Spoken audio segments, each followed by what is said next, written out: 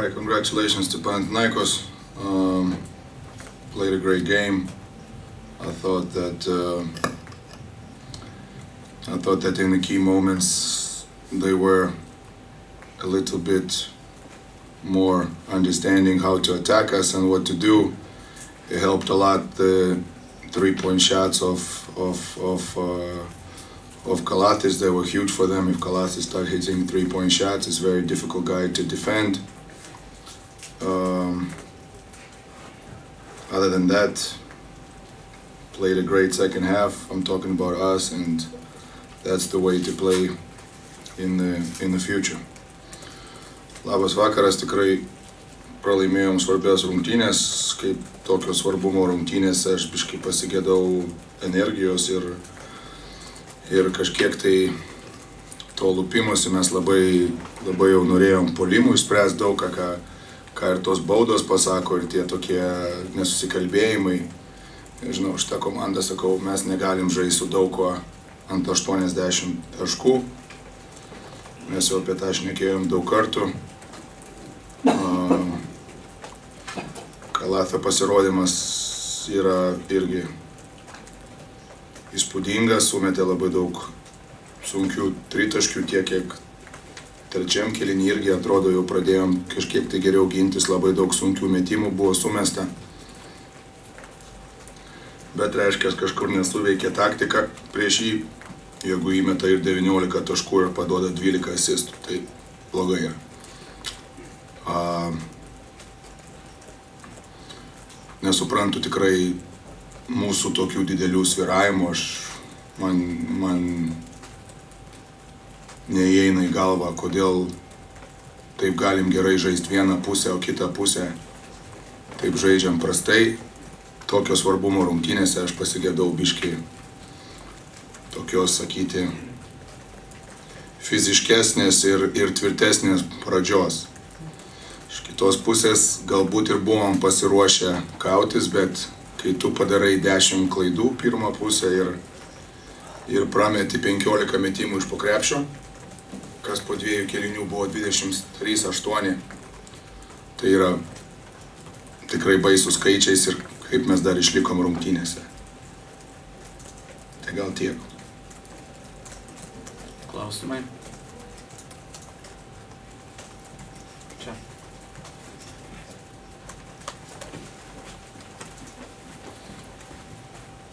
Apie tą pirmą rungtynių pusę atrodė, kad buvo labai daug tokių dviejonių - mesti, nemesti, veršti, nesiveršti.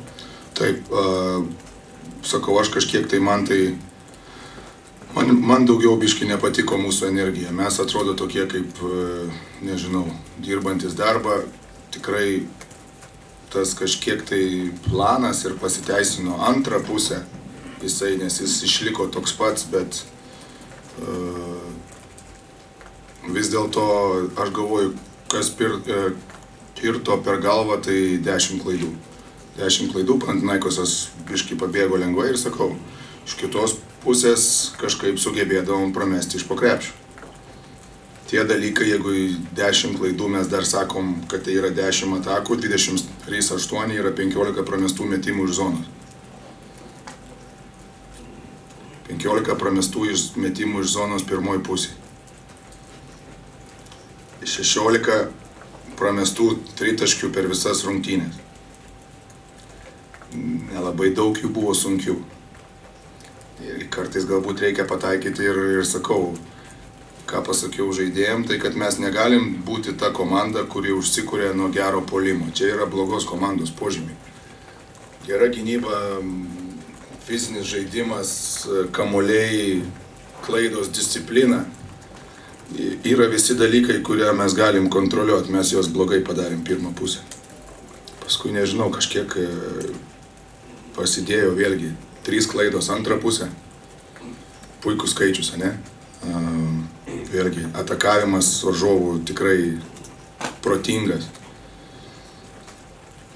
Nežinau, sakau, nu, yra tos pačios bėdos, mes neišlaikom, mes labai daug sviruojam, neišlaikom tą. Ir kas iš tikrųjų labai jaudina, tai re, reti keliniai.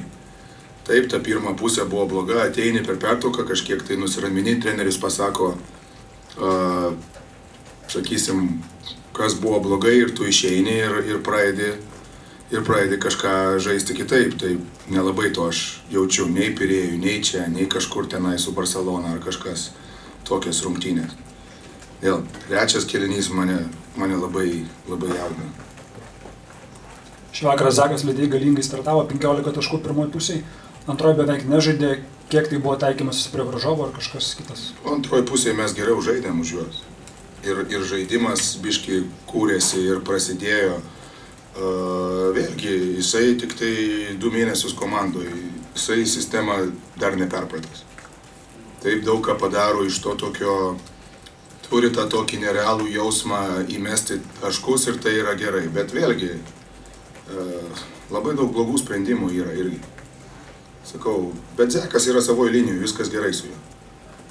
Savo linijoje tik reikia gerinti tas žaidimo detalės, tiek gynyboje, tiek polime. Vis, viskas yra jam sakoma, viskas yra jam rodoma, visi yra tie patys, tie patys dalykai. Reikia dėti žingsnius į priekį.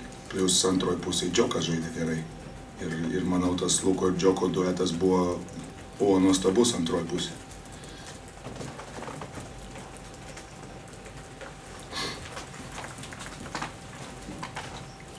Pirmo kelnio pabaigoje ir antro pradžioje buvo atkarpa, kai nepelnėt 5 minutės taškų. Kiek rungtynių tiekmė keitė galbūt papajanio išėjimas į aikštę ir Nelabai, vis tiek daug kas prasidėjo nuo Kalafio. Jeigu jūs pagalvojat, kad tai yra 19 taškų ir 12 asistų, tai čia apie, čia netoli 50 taškų išeina iš jo rankų. Papajanis tikrai ten jis prisidėjo, bet tai labai daug mūsų klaidų buvo, nežinau. Iki pertraukos 10 klaidų minėjot, beros šešios jų žaidėjų buvo Taip. padarytos. Kaip e, organizavimo žaidimo įvertintumėte? Nu, tai pirma pusė labai bloga, antra pusė nuostabi. Jeigu mes pagalvojam apie jų skaičius visumoje, tai galbūt e, nelabai jie ir blogi. 20 iš 10, 20 ir 10 reiškia, iš jų rankų išėjo kažkur 45 taškai. 45 iš 85, aš aišku, čia apitiksliai skaičiuoju, bet kaip ir būtų normaliai, nu bet mes negalim žaisti visą 86 taškų. Mes negalim. Kiek jau metų skaičiuojam tą 80 taškų ribą? 86 namuose. Per daug. Dar norėjau pasitikslinti, ar Milaknas turėjo pramesti baudą paskutinį. Taip. Tas fiziškumas, kuris yra akcentuojamas ne, ne po pirmo rungtynių, kaip, kaip jį inspiruoti, kaip vis tiek žiūrit analizės, rodo žaidėjai, žino, kaip, kaip inspiruoti tą kovą iš mušimo Ah. pozicijų. Žinai, kartais būna tikrai, kad tas fiziškumas ar jo trūkumas yra logiškas arba nelogiškas. Aš turiu galvoje irgi, mes keičiamės atakų gale, varžovas keičiasi atakų gale ir, ir tu lieki prieš mažesnį. Ne? Tu turi dominuoti tą matchupą. Tu turi dominuoti, aš turiu galvoj, tu turi prašyti kamulio po krepšių, tu turi užsiimti gerą poziciją, tu turi pasiimti kamulį po krepšių, jeigu žaidėjas mūsų kažkuris prameta į tą tokį vadinamą cilindrą, ne, to žmogaus. Čia yra kontroliuojama. Mes negalim kontroliuoti, kad šiai dienai Papajanis, uh, Tomičius, Milutinovas yra didesnis už Džoką ir Zeką. Mes negalim turėti tokių žaidėjų. Ne? Šitas yra nekontroliuojama. Ant šito mes labai daug gaunam ir mes laukiam, kol Džokas pavalgys daugiau, pasištanguos ir galbūt bus toks, kaip Brandonas buvo. Čia yra jau mūsų, ta, mūsų klubo dalis, čia viskas, kaip sakoma, taip ir kažkiek tai yra aišku. Ar Peresas išvyksta iš komandos? Nu, aš daug čia nesi, nesiplėsiu, ne, yra iš, išleistas, kaip sakoma, tas klubo pareiškimas, dabar gal čia turbūt jau klubas turi daugiau šnekėti negu mane. Kokios galbūt pamainos ieškosit Perezui? Ar kad tik geriausia, kad tik padėtų kažkas. Manau, kad turim kažkiek tai gynėjų grandin ir universalumo, ką galima kai kuriuos žaidėjus judinti per pirmą, antrą poziciją, per antrą, trečią, trečią, ketvirtą.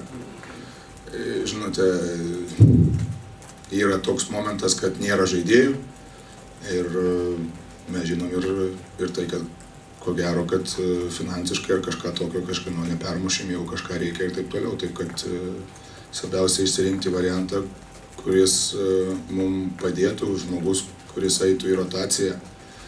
Labai gaila šiandien Roko, kad būtų įme, buvo įmestas į, į ugnį, jis, jis LKL rodo solidų žaidimą, nėra lengva jam išeiti prieš, prieš tokią auditoriją ir jis tikrai deda gerus žingsnius į priekį, manau, jisai gaus šansų ir, ir tikrai esu įstikinęs, kad žais geriau negu šiandien žaidė. Taip kad uh, žiūrėsim. Tai žodžiu, tas žaidėjas neprivalo būti įžaidėjas, ne? Tai gali būti... Aš sakau, kaip sakoma, geriausiai pasakyti angliškai best available. Kalbant apie Džoką, kaip vertinat jo tobulėjimą, krepšinio skaitimą, tą fiziškumą ir įskaitimą kartais? Gerai aš vertinu, gerai vertinu. Tikrai matau, kad nori, kad labai atsidavimas yra, reikia laukti jo. Ir jis duoda, duoda. Naidželis duoda, Zekas duoda. Mums reikia, norint to, kad skint pergalę šitoje Eurolygoje, mums reikia, kad duotų daugiau. Ar jie gali duoti daugiau, yra kažkoks tai logiškas procesas. Taip, jie yra stumiami, taip, jie yra mokomi, rodomi, e, jie nori. Jie nori. Žiauriai nori. Tikrai esu įstikinęs. E, tas pats Gebenas, tikrai super. Galbūt net reikia duoti daugiau žaisti. Bet čia vėliau, kaip sakoma, ateis. Bet tikrai, žinot, žiauriai patenkinti.